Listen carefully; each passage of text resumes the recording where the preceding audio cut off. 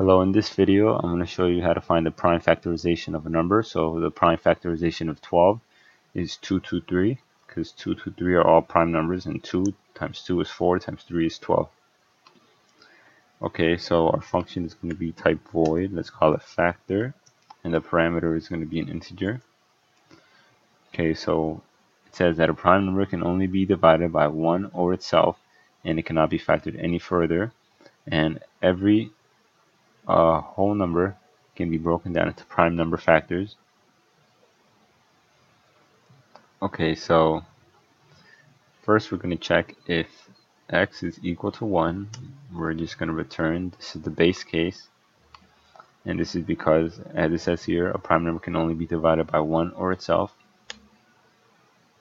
Okay, and then here we're going to write um, the first prime number, which is a 2 and we're going to use a while loop and say while x mod num does not equal 0 we're going to add 1 to the num. Right? And then we're going to cout num to space. Right? So this while loop does this num plus plus. If it's not in the while loop it's going to cout num in the space. And then the recursive call is going to be x mod num.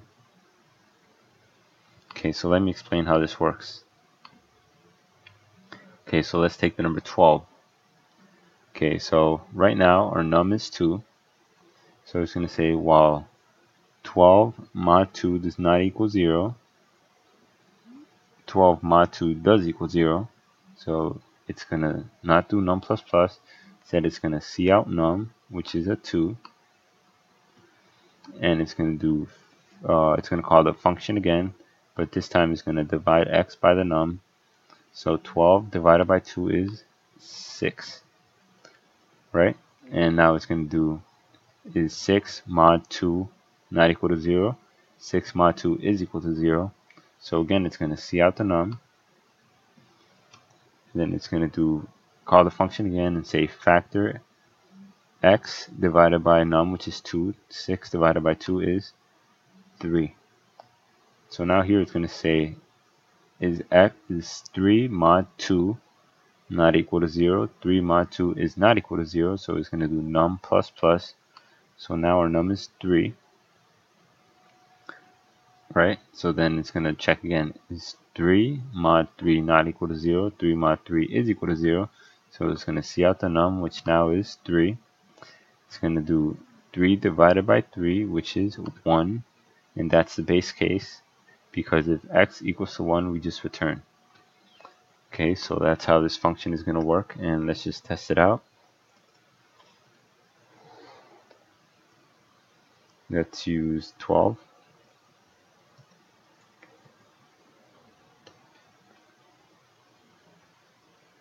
And it's going to say 223, which is correct. Uh, let's try a number like 17, which should just give you 17. And that's correct. And let's just try another number like 50. Um, and it says 255, which 2 times 5 is 10, times 5 is 50. And 2, 5, and 5 are all prime numbers. Hope this video